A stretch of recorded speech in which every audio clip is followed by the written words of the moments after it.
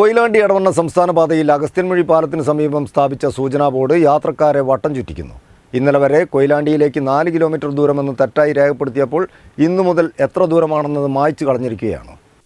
കോടികൾ മുടക്കിയുള്ള എടവണ്ണ കൊയിലാണ്ടി സംസ്ഥാനപാത നവീകരണം അശാസ്ത്രീയമാണെന്ന പരാതികൾ വ്യാപകമായി ഉയർന്നുകൊണ്ടിരിക്കുകയും ഇതിനെതിരെ പ്രതിഷേധങ്ങളും പരാതികളും നിരവധി വന്നുകൊണ്ടിരിക്കുകയും ചെയ്യുമ്പോഴാണ് ഈ റോഡിൽ യാത്രക്കാരെ ആശങ്കയിലാക്കി സൂചനാ ബോർഡും സ്ഥാപിച്ചത്.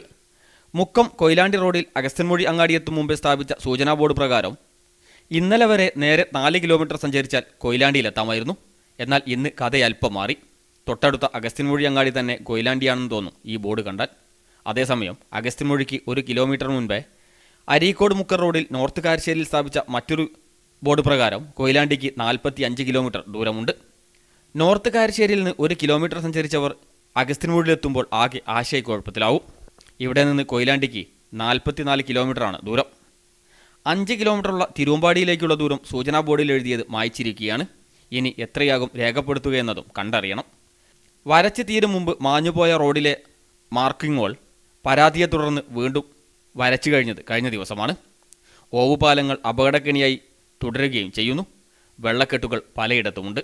റോഡ് നവീകരണത്തിലെ അപാകതയുടെ പട്ടിക റോഡ് പണി പൂർത്തിയാവുന്നതിനനുസരിച്ച് നീളുകയാണിപ്പോൾ. ക്യാമറമാൻ രാജേഷ് കാരമൂലയ്ക്കൊപ്പം സി ഫസൽ ബാബു സി പ്രാദേശിക വാർത്ത.